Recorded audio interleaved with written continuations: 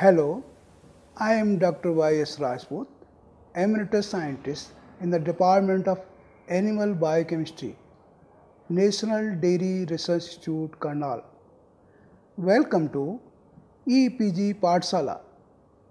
Today, I am going to teach you salt fractionation of proteins under biochemical techniques.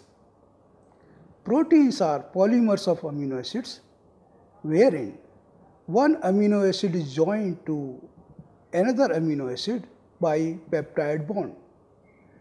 There are 22 different amino acids and several amino acids are present in proteins.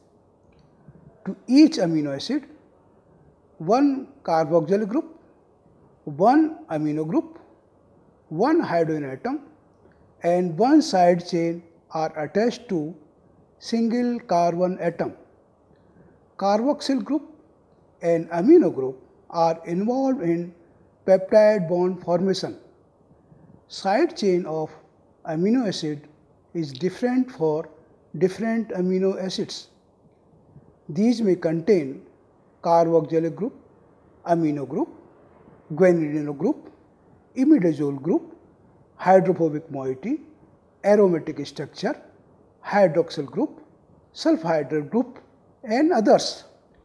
Some of the side chains will have affinity towards water, while others may not. The number of amino acids and their side chain will affect their solubility behavior.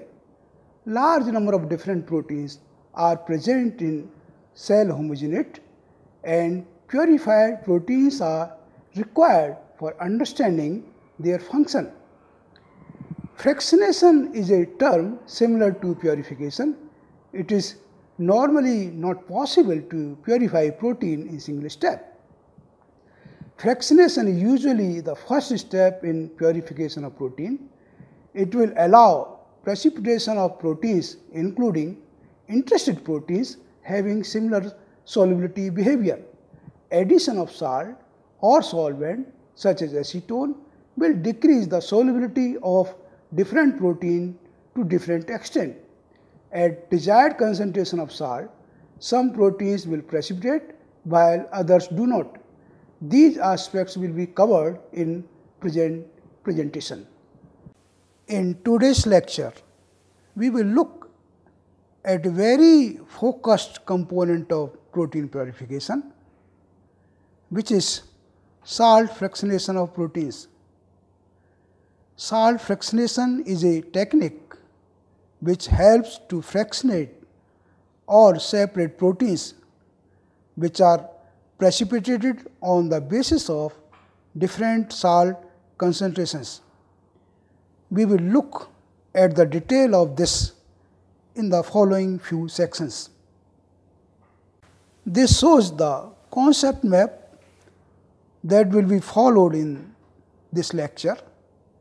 We will first study importance of protein purification. Then we will elaborate what we mean by protein fractionation. Salts are commonly used for fractionation of protein.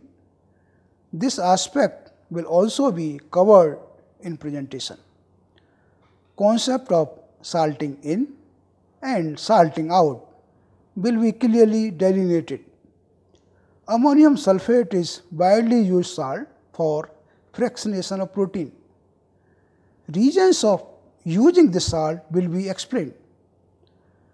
The presentation will also include effectiveness of various salts for fractionation of proteins. This will be explained in terms of Hofmeister series. Salts are present in fractionated protein. These must be removed for obtaining salt-free protein for next step in purification, especially in ion exchange chromatography. Dialysis is effective way of removing small molecules such as salts from macromolecules such as protein. How to perform dialysis will also be covered in presentation. Protein purification is vital for characterization of protein.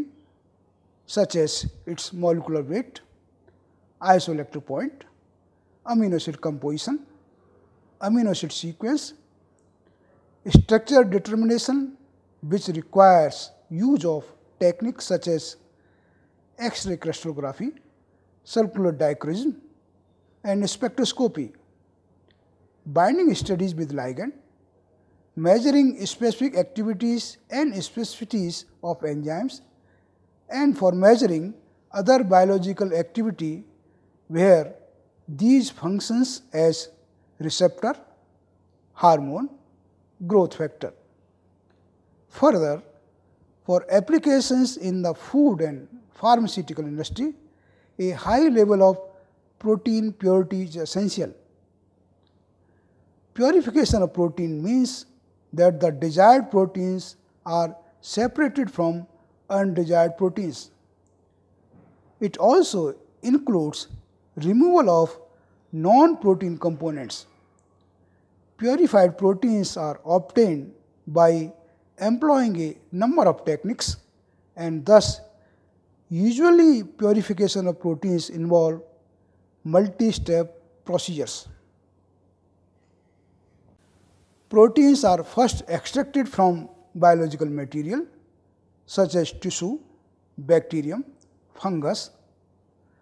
Homogenization of biological material in presence of buffer at low temperature is an effective way for extraction of proteins.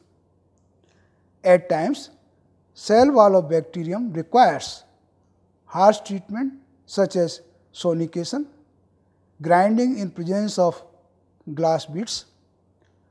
Cell homogenate may have proteolytic enzymes and thus cocktail of proteolytic inhibitors are used during homogenization and also during purification. Low temperature helps in minimizing proteolytic action. Membrane proteins are extracted by incorporating detergent in buffer. Crude extract will contain a complex mixture of proteins from cell cytoplasm.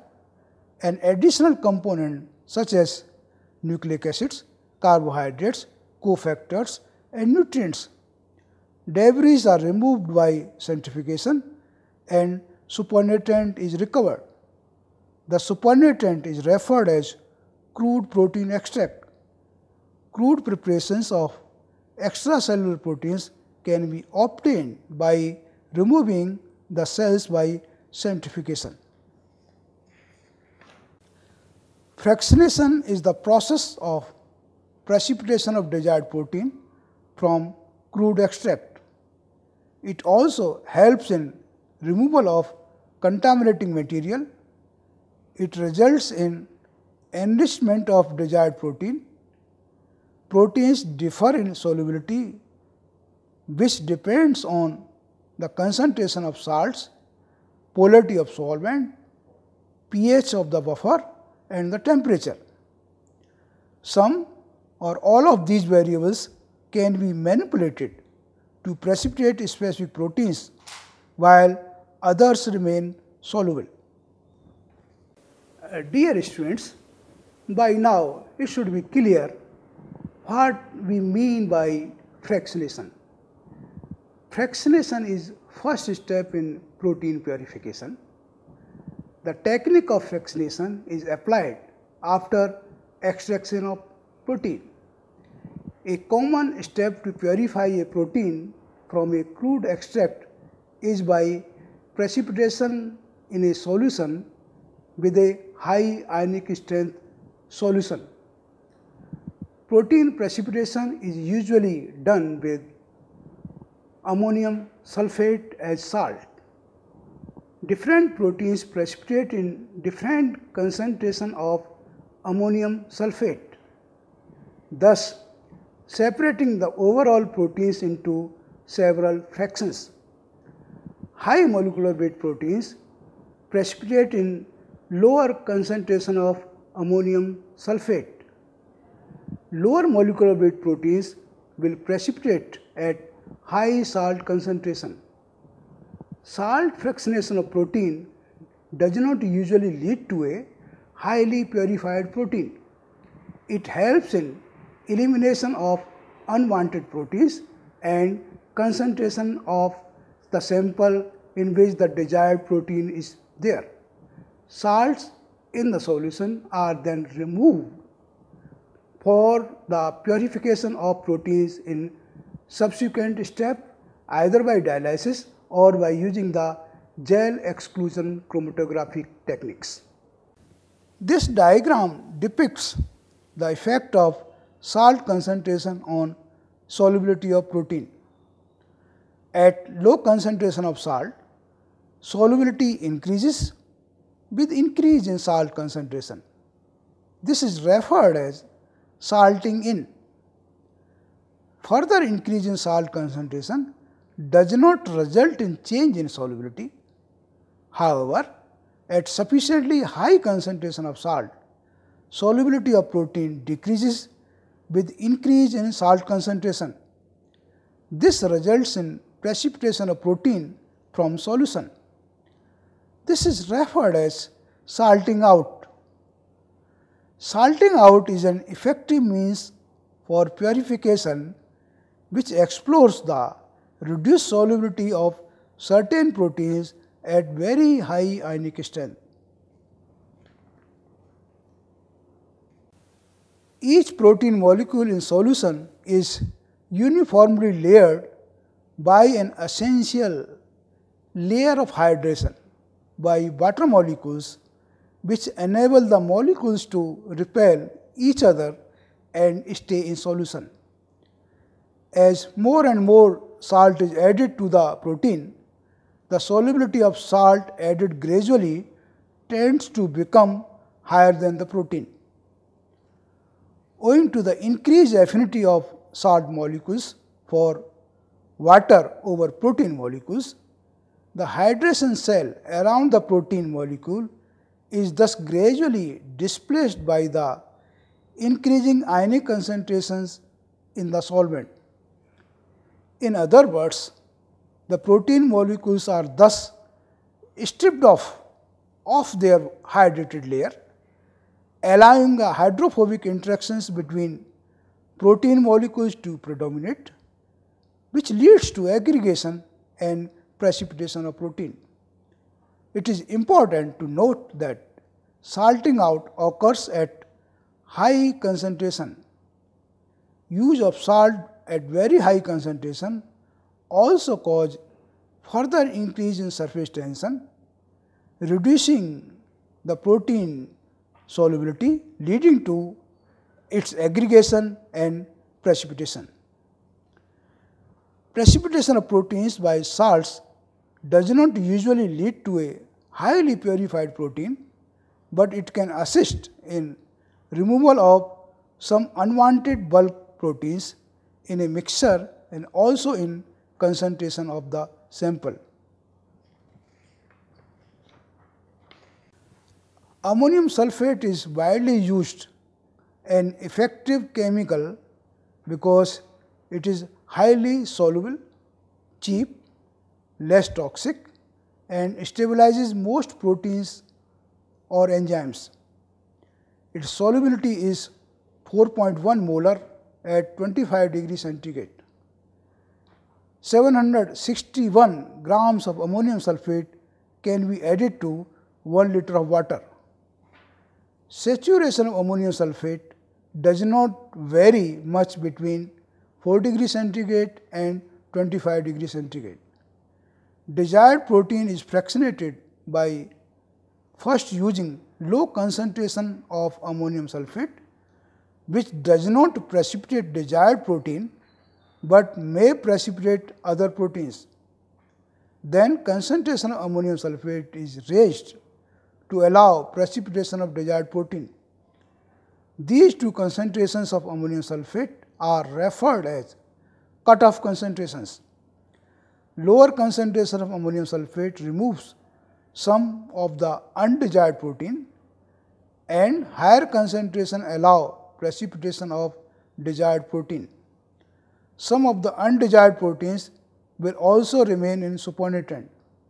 The cutoff concentration of ammonium sulphate will be different for different proteins and is required to be determined experimentally. A typical protocol will require treating of fixed volume of sample with different amount of ammonium sulphate for obtaining different saturation level of ammonium sulphate. Sample is kept stirred while addition of ammonium sulphate. Sample is then kept for 2 to 4 hours at 4 degree and then centrifuged at 10,000 G for 20 minutes. Pellet and supernatant are collected. Presence of desired protein in pellet or supernatant or both are checked. Lowest cutoff of ammonium sulphate is the highest concentration of ammonium sulphate which does not result in precipitation of desired protein. Highest cutoff of ammonium sulphate is the lowest concentration of ammonium sulphate which results in precipitation of desired protein. In actual experiment of salt fractionation, protein sample is first treated with lower cutoff concentration of ammonium sulphate and the precipitate is removed. The supernatant is collected and then concentration of ammonium sulphate is raised to highest cutoff level by taking into account the already added ammonium sulphate during lower cutoff treatment. Sample is then kept at 4 degree for 2 to 4 hours and centrifuged at 10,000 G for 20 minutes. Pellet containing desired protein is then dissolved in buffer and analyzed.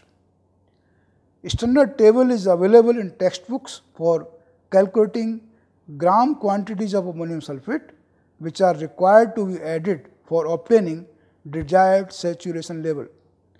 Ammonium sulphate is acidic and therefore, pH during addition of ammonium sulphate needs to be checked and adjusted to 7.0 if required.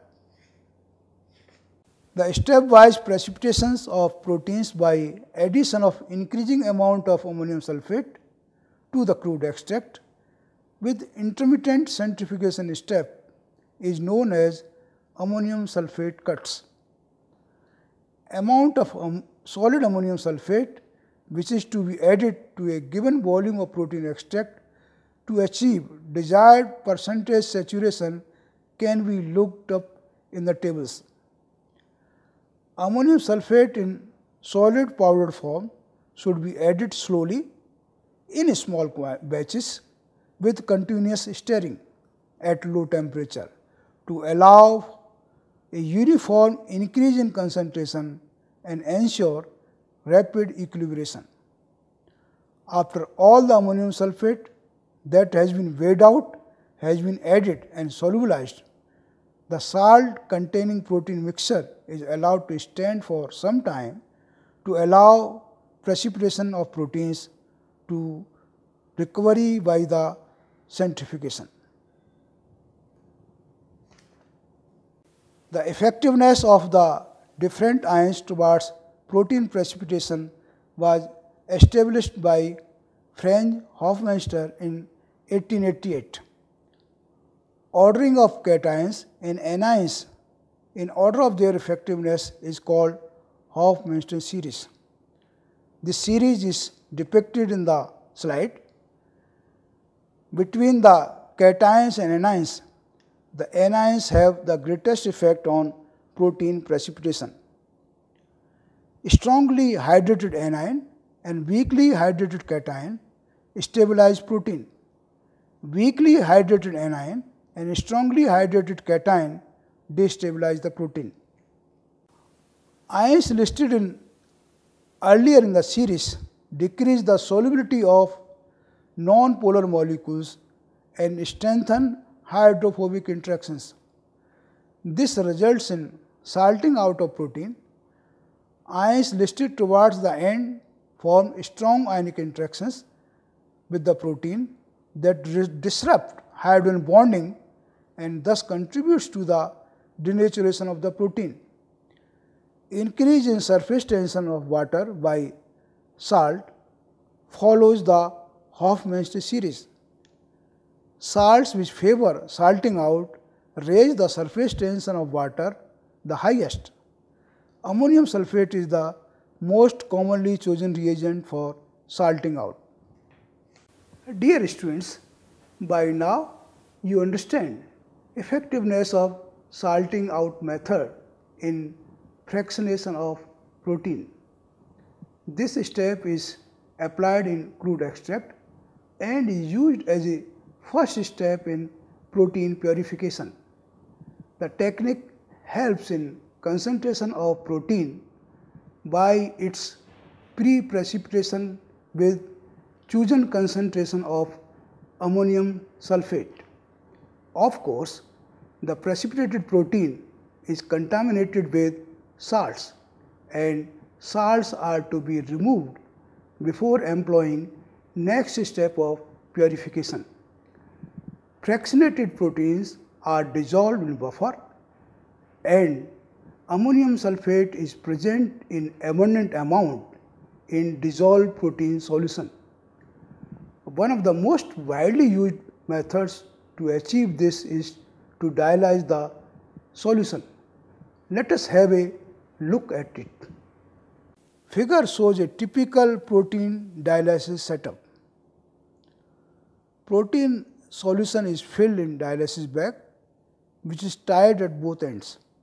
Dialysis bag is prepared from semi-permeable membrane usually of a cellulose membrane. Small molecules such as salt can pass through the pores of membrane, whereas large molecules such as protein cannot pass through the pores of membrane and these are retained inside the bag. Pores of membrane are larger than the size of the small molecules, but smaller than the size of large molecules. Dialysis membranes are commercially available. After removing greasy material, one end of membrane is tied and sample is placed in sac. Then other end is tied. Dialysis sac is then placed in a beaker containing buffer. Buffer is then stirred by employing magnetic stirrer. Temperature of buffer is maintained at 4 degree centigrade so that protein is not inactivated. Usually in 2 hours of stirring, concentration of small molecules inside and outside will become equal. At that point, buffer is replaced in beaker and buffer is stirred. This is repeated several times. If protein is fractionated with ammonium sulphate, ammonium sulphate will be present in protein sample and the same will be dialyzed out in buffer. As long as ammonium sulphate is dialyzed out, its presence can be tested in buffer outside in dialysis bag. It is very easy to test presence of ammonium sulphate in solution. It can be detected by adding few drops of barium chloride solution to the buffer. If it turns milky, it indicates presence of ammonium sulphate.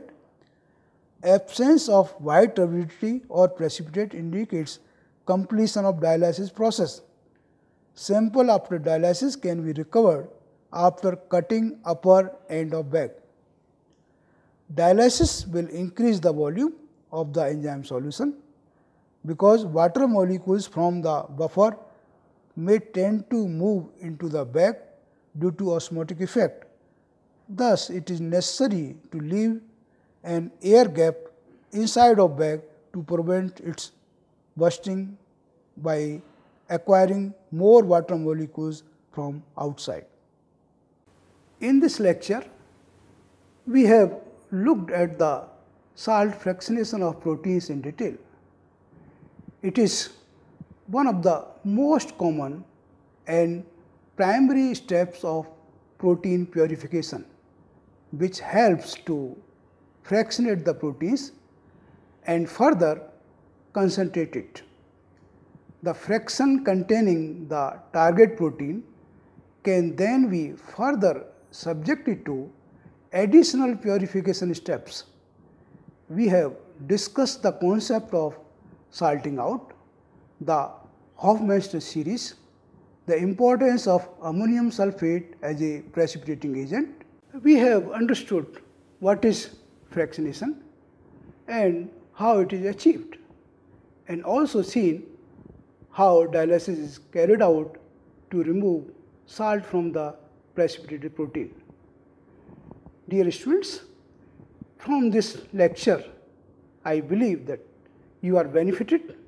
You will be able to use this basic technique of protein purification in your routine research exercises. I hope that you can make advantage of this presentation in your research endeavor. Thank you.